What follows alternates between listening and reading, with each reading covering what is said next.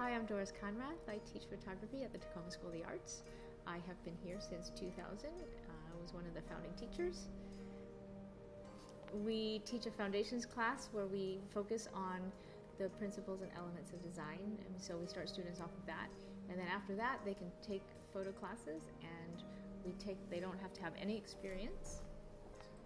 We want students to come away with uh, the ability to really use and look at light and see light differently, and also to problem solve and communicate verbally.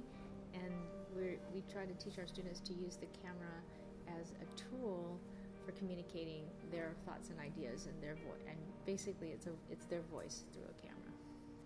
In addition to photo classes, we like our students to be well rounded, so they would be asked to take a video class as well as a drawing class, minimally in the visual arts pro, um, department.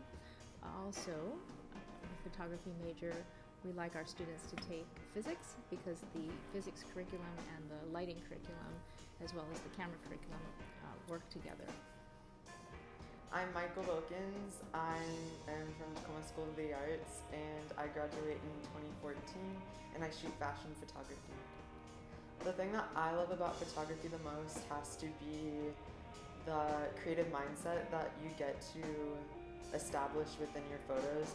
So basically, I get to create a fantasy with the photos that I create, and I think that's the most interesting thing.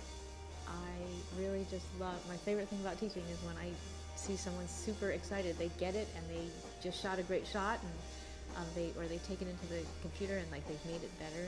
So just taking great photos is my reward for sure. And uh, the students here are just super creative and really work really hard at their craft and they come away with like beautiful portfolios. Okay, so one of my most memorable photo shoots was with Taylor McCain, who's my neighbor, and um, I think the project was about equality or something really vague. And I decided to have her drenched in mud and she rolled around in the rain, and it was the coolest thing ever. And those photos went up in the front of the school and everywhere else. It was such a cool experience. It's not a cakewalk program at all. So students do have to sort of keep up with their work. It's very hard to sort of catch up if you sort of start falling behind a lot. So um, advice would be just to do your work, and um, that's how you become a better photographer by shooting lots and lots of pictures. And so, um, so we do. It is pretty heavy. We give assignments almost every week. And so, you sort of, when you take a photo class, you really need to budget every weekend. You're shooting between one and two hours for like homework. And then all the editing and printing and things like that are done in class.